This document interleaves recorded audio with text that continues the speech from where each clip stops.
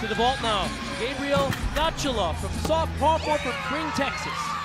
Tell you what, that's a great landing. She's not going to give anything away there, but she did have a pike down. So when you land with your chest down and, and having pike down from the skill, the judges will take that deduction. Watch right here. Her, she's a little high on. See how her head and chest is forward of her feet. Gabrielle is called Bell by her teammates.